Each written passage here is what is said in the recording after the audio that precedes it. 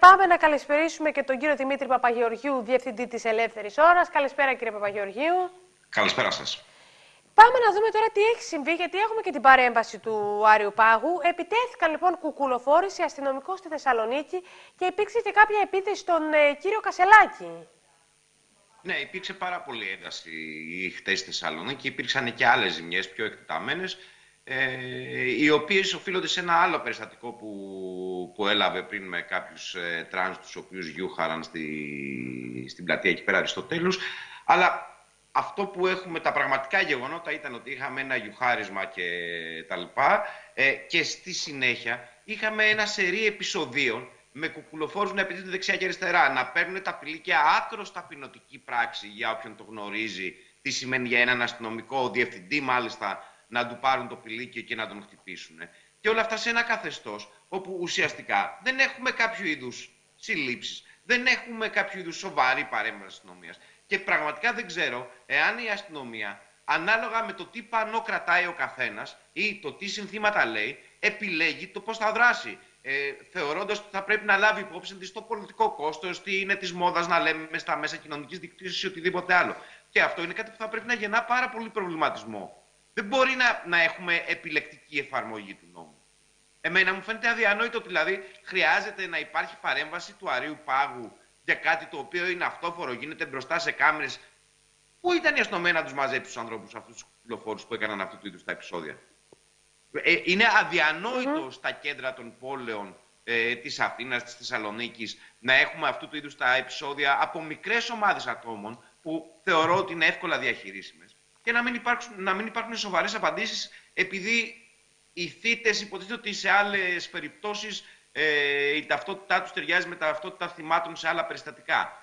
Είναι πάρα πολύ περίεργα πράγματα αυτά και σίγουρα δεν πρέπει σε καμία περίπτωση η ελληνική αστυνομία να μπει στη διαδικασία του να κάνει τέτοιου είδους υπολογισμούς σχετικά με το αν θα παρεύει ή όχι. Γιατί δεν είναι μόνο τα επεισόδια που βλέπουμε εδώ πέρα μπροστά, έγιναν και αλλού επεισόδια στη Θεσσαλονίκη. Έγιναν και στην πλατεία Αριστοτέλους. Υπήρξαν και επιθέσεις σε μαγαζιά. Είναι γενικευμένη κατάσταση ανομία και έχω την εντύπωση ότι αν το συνδυάσουμε και με αυτό που λέγαμε για, τη, και την Παρασκευή, ε, με τις βόμβε, όλα αυτά που γίνονται, είχαμε σήμερα ξανά και άλλο σε κάβα, κάπου το έχουν χάσει το παιχνίδι της ασφάλειας. Το νόμος και τάξη, με το οποίο η, προεκλογικά η Νέα Δημοκρατία το είχε σηκώσει πάρα πολύ, ε, βλέπουμε ότι δεν εφαρμόζεται. Σε καμία περίπτωση. και όλο αυτό δημιουργεί έντονη ανησυχία στους πολίτες. Όταν οι πολίτες βλέπουν να εξευτελίζεται έτσι ένας ανώτατος αστυνομικός, αξιωματικός της αστυνομίας, πώς θα μπορέσουν οι υπόλοιποι να, να αντιδράσουν σοβαρά; Πώς θα, θα σκεφτούν ότι η αστυνομία τους προστατεύει; Και όταν δεν σε προστατεύει η αστυνομία, αυτό που κάνεις είναι να πάρεις εσύ πάνω σου τα μέτρα αυτοπροστασίας. Και σίγουρα αυτό οδηγεί σε καταστάσεις τις οποίες δεν τις θέλει κανένας στη χώρα μας.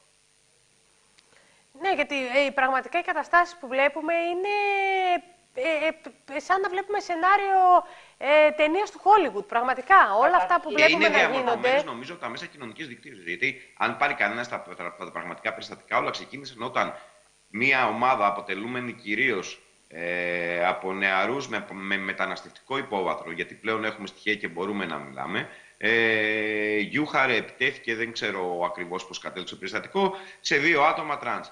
Στη συνέχεια άρχισαν συγκεντρώσεις κατά, της συγκεκριμένης, ας πούμε, ε, κατά του συγκεκριμένου περιστατικού, οι οποίες εκτυλίχθηκαν με, με πολύ άσχημο τρόπο. Και είχαμε και άλλες επιθέσεις και αψιμαχίες. Έχουν γίνει, ε, οι ελληνικές πόλεις, ας πούμε, είναι έρμαιο στη διάθεση του καθενός να κάνει ό,τι θέλει. Όλα αυτά είναι όλα. Καταρχήν θα πρέπει να καταδικάζουμε κάθε άθλια και απαράδεκτη ομοφοβική επίθεση από όπου και αν προέρχεται. Αλλά δυστυχώς. Κάθε είδους δεν... επίθεση. Το να βάζεις Κάθε... ότι κατα... καταδικάζουμε μόνο μία επίθεση που έχει συγκεκριμένα χαρακτηριστικά και όχι τις υπόλοιπες είναι και Κάθε αυτό προβληματικό. Κάθε είδους. Απλά τώρα μιλάω για ομοφοβικές, επειδή από εκεί ξεκίνησε όλη αυτή η ιστορία. Ωστόσο, αυτό που θέλω λίγο να επισημάνω είναι το γεγονός ότι τέτοιου είδους επιθέσεις ξεκινάνε και από την κορυφή της πολιτείας, από την κορυφή της κοινωνίας. Όταν έχουμε έναν δήμαρχο Βόλου να καταφέρεται κατά ενός αρχηγού κόμματος για τον σεξουαλικό του προσανατολισμό και ουδής να αντιδρά, ε, τι θα κάνει ο, ο, ο απλός κόσμος που είναι φανατισμένος κατά μιας μερίδας ε, ανθρώπων; Και μην ξεχνάμε και το άλλο περιστατικό έτσι που είχε γίνει ε, μετά τις περιφερειακές εκλογές. Ο Περιφερειάρχης Βορείου Αιγαίου, ο κύριος Μουτζούρης, είχε εκφραστεί με πολύ αλκινές εκφράσεις εναντίον του σεξουαλικού ε, προσανατολισμού του κυρίου Κασελάκη.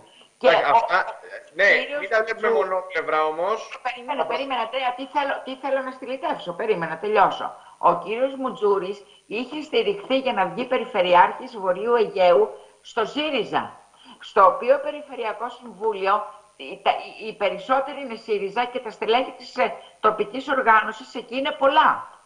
Δηλαδή αυτά είναι πράγματα. Όχι, όχι, δεν υπήρξε επίσημη στήριξη του ΣΥΡΙΖΑ και μάλιστα υπήρχε και διάσπαση του ΣΥΡΙΖΑ με κάποιους μειοψηφικούς ε, εντός του ΣΥΡΙΖΑ να ζητούν να στηριχθεί ο Μουτζούρης, ο οποίος δεν στηρίχθηκε. Αλλά τώρα το να υποθέτουμε ότι η, ήταν φανατική οπαδή του Μουτζούρη ή φανατική οπαδή ε, όχι, του, όχι, του Μπέου από τον Πόλο αυτή, η οποία ξεκίνησε το πρώτο επεισόδιο, είναι λίγο εκτός πραγματικότητας γιατί αποδεικνύεται από τα στοιχεία ότι οι άνθρωποι αυτοί, οι 12 από τους 20 συλληφθέντες, ε, είναι αλλοδαποί.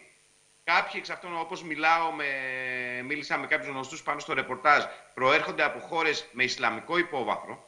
Ε, και αν θέλετε να δείτε τι συμβαίνει στις χώρες αυτές ε, με τις κοινότητες των ΛΟΑΤ και τα λοιπά, νομίζω το, το γνωρίζουν όλοι. Οπότε νομίζω ότι είναι λίγο λανθασμένη η σύνδεση που κάνατε.